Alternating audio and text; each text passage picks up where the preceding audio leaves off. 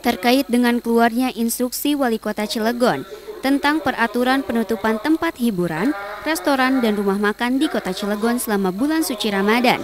Kepolisian Polres Cilegon mengumpulkan puluhan para pengusaha pada kegiatan saresehan bersama para tokoh masyarakat, agama, ormas, dan LSM sekota Cilegon. Kita tidak tinggal diam, akan bertindak uh, secara tegas untuk mengajak dengan instansi lainnya untuk tempat-tempat hiburan ataupun makan yang coba-coba buka pada saat bulan puasa.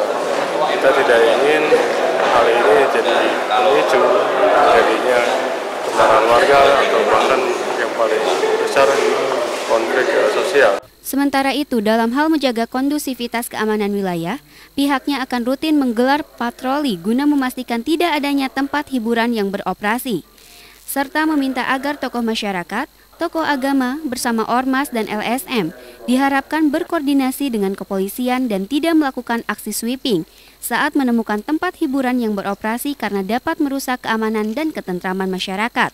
Susmiatun Hayati, Kota Cilegon, melaporkan untuk CTV Network.